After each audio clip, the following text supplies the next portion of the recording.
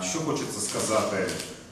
за ці е, 600 днів е, повномасштабного вторгнення, який триває е, з лютого минулого року. Укрпошта, е, як і всі е, підприємства, е, 24, ну, як і більшість підприємств, е, саме 24 лютого 2022 року е, безпосередньо е, зупинила свою діяльність, оскільки е, з безпекової точки зору і е, порушених логіс- логістичних ланцюжків е, ми, е, як і більшість е, населення і підприємств, не розуміли, як нам далі рухатися. Але це був тільки перший день, а далі, е, вже починаючи з наступного дня, почали е, відбудовувати нові ланцюжки е, і відповідно настраювати роботу в тих умовах, в яких опинилася вся наша країна. Виплатний період пенсій триває з 4 по 25 число зазвичай, і оскільки 24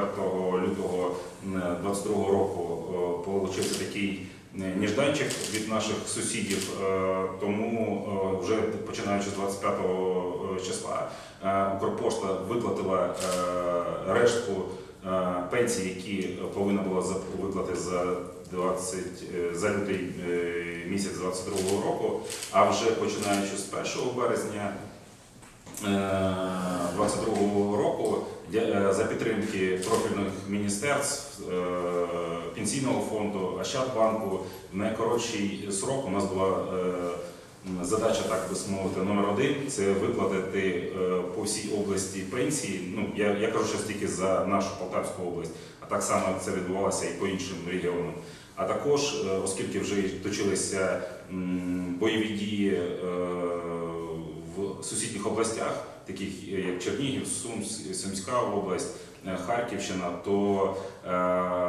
наше, наше підприємство, наш регіональний підрозділ допомагав виплачувати е, пенсії і нашим шановним мешканцям нашої держави і допомагав і сусіднім областям, так би мовити.